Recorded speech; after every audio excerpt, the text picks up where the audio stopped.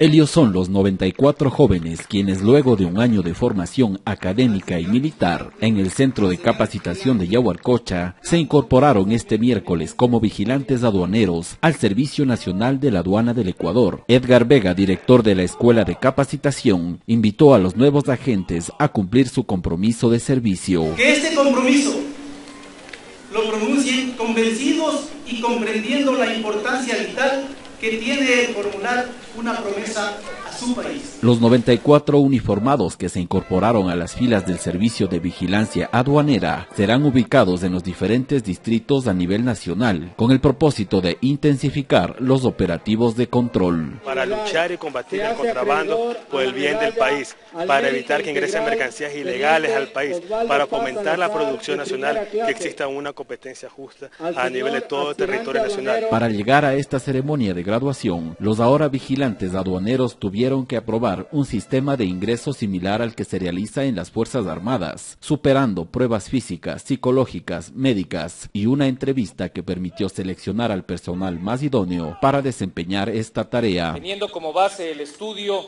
la disciplina, el trabajo, el sacrificio, los jóvenes aspirantes que ingresaron con muchas inquietudes, llenos de civismo y patriotismo, han forjado su carácter.